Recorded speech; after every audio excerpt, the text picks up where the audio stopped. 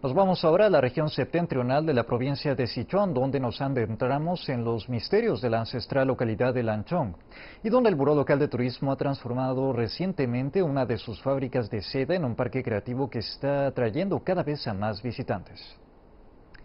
El parque creativo es una atracción turística en la localidad de Lanchong. Aquí los visitantes tienen ocasión de degustar las delicias de la cocina local, dar un paseo por su particular túnel del tiempo y disfrutar de sus instalaciones, incluso de ver una película o de deleitarse con cristales preciosos en el Museo Geológico de la ciudad. No estamos intentando recrear Don Yao como lo recordamos, queremos mejorarlo. A través de este proyecto queremos proporcionar una mejor experiencia a todos aquellos que nos visiten. Más allá de una nueva excursión, el parque también pretende potenciar el turismo y ayudar a los habitantes de Lanzhou a combatir la pobreza.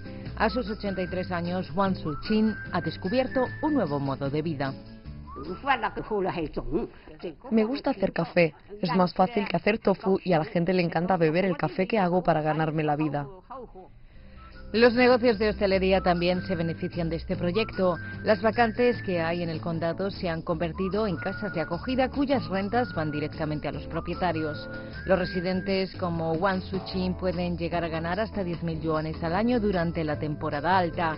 El turismo se ha convertido en la punta de lanza de la economía local. Solo en 2019, Lanzhou atrajo a más de 14 millones de visitantes.